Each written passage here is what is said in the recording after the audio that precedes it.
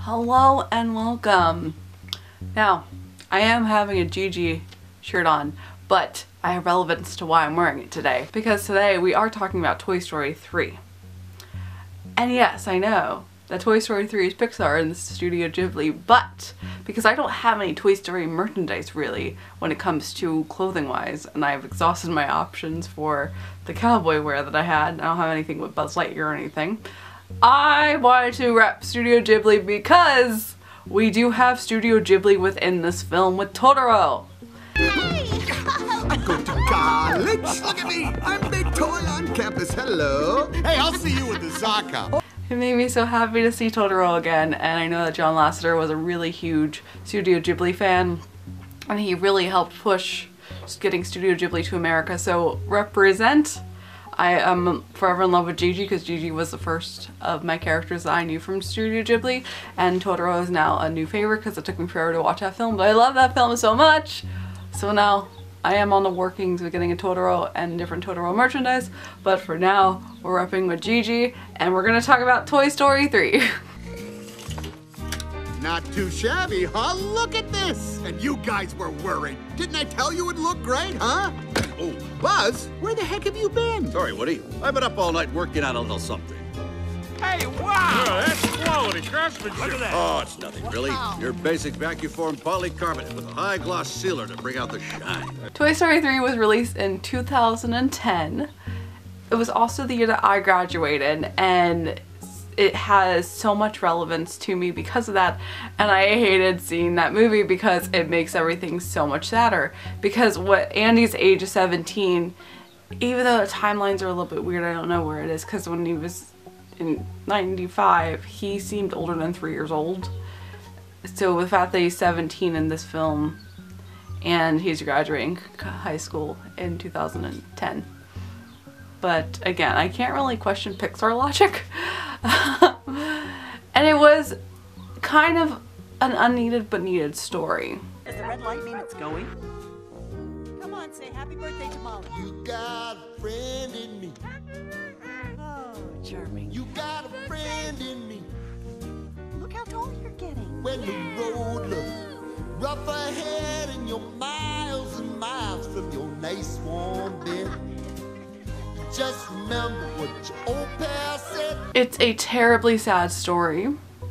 And when the toys are dealing with the humans, there's so much emotion that you have that everything is complete sadness because it's like everyone's dying, basically, and being put up in the attic, and it's just filled with sadness. And then when they get to Sunnyside Daycare and they're dealing with Lotso and all those adventures, it's a weird mafia type of film. So it's weird, but it works. Like it's not anything that extreme that doesn't make sense. And the direction makes sense of where it goes into. And the story they follow makes sense. But when breaking it down, it's just very strange with the direction that they decided to go into. And it's a nice homage back to their first short tin toy, which we've talked about previously, where the babies look at toys like they're just chew toys and the toys think of babies as monsters.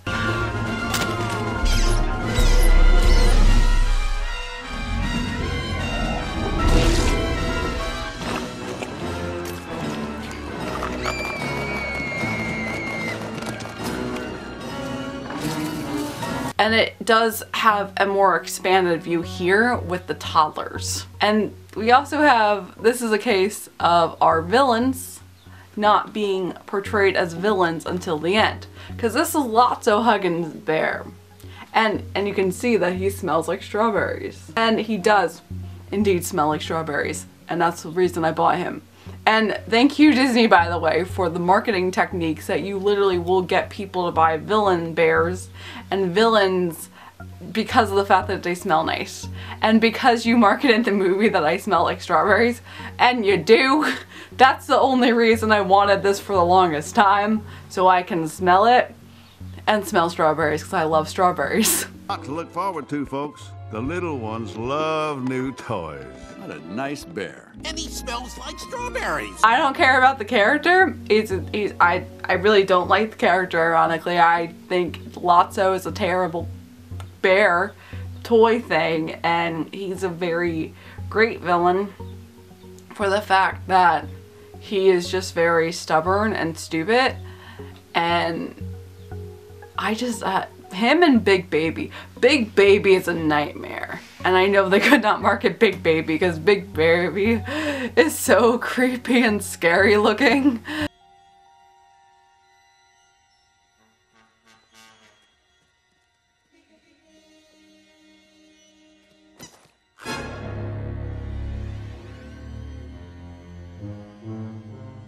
And if in reality Big Baby actually went back to Daisy, it would have terrified her and completely scarred her for life because ugh, they're so creepy. So creepy. So creepy. so instead we have Lotso as our villain, not really until the end villain, but I mean you can even see his eyes are all squinted because he's thinking of villainous plots to take over. It's just such a weird concept. It's such a strange concept and it's a really weird concept thinking about and breaking apart that toys are alive and that they have feelings and that they're sad when you throw them away and you move on because Andy's 17 and obviously Andy and Andy's a little bit weird too. Like Andy's not all there because he's a 17 year old guy when I knew 17 year old guys and even now I feel like they're worse compared to when I was 17. It seems like they just care about their cell phones and skateboarding and doing drugs, other things that adults do and they don't care about toys. And the fact that he even thinks about taking Woody, I mean, I guess because Woody is like a security blanket to him because you have your toys from when you're young that you care about and other things that you care about. But I never had that. Now, Woody, he's been my pal for as long as I can remember. He's brave, like a cowboy should be, and kind and smart. But the thing that makes Woody special is he'll never give up on you. Ever. He'll be there for you, no matter what. That's why I'm the one that's kind of the odd one out because I appreciate toys more now as a collector's item, I guess, but not to play with. I like them as part of the decor. And I think that they're cute to display and they add pieces to your household to make things fun.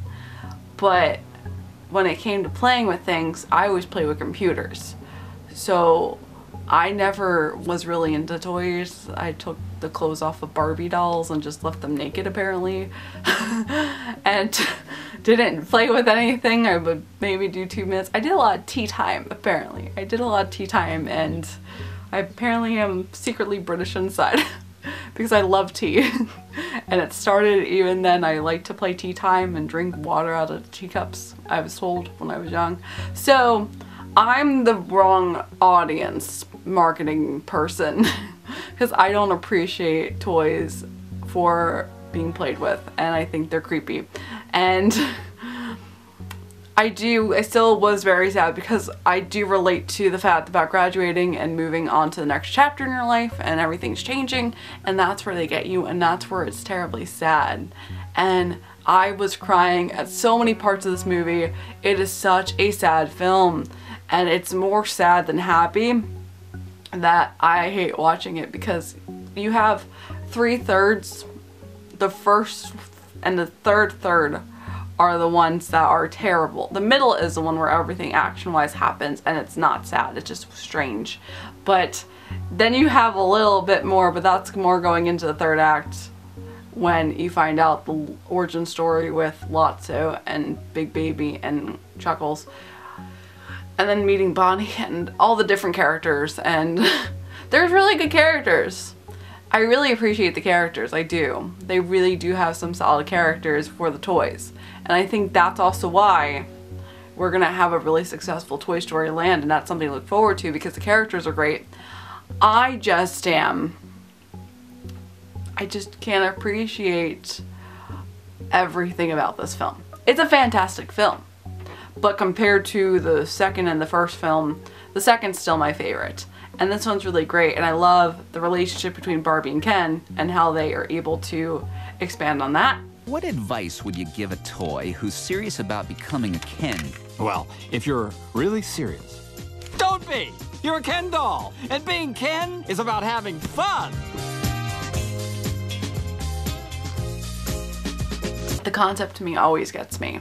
So it's not a negative review because I really, really admire this film and this film is a really great send-off and it's really important and really sweet to end the series. However, they're not ending the series, so that's another problem. They ended the series on Andy, but now they're making a fourth Toy Story which is coming out next year in 2019 and I don't think it's needed. I know they have the shorts, I know they have Toy Story Land, but at the same time, you have so many rides for Disney that are done and you can just like you are good to enjoy what's happening in the parks without having to have another movie come out. Let's talk about how Up is still relevant. That film came out 15 years ago and we still have new relevancy in the parks and we were fine with that one film. That one film is still iconic enough to have a stage show and meet and greets and track different things like that. So why do we have to keep pushing out new Toy Story films to have a Toy Story Land relevancy? The characters are iconic. They've said it themselves. It's timeless feel. And I wish that they would just leave things be at this point because the Toy Story franchise is perfectly done and everything was so wrapped up nicely and it was a nice goodbye to the films. But no I have to milk this cow as much as I can. I am excited for Toy Story Land. At least that way. The next time that we talk about Toy Story it'll be with Toy Story Land. Tomorrow we're gonna be talking about more sequels that are not needed with Cars 2 so stay tuned and as always I hope you have a magical day and I will see you real soon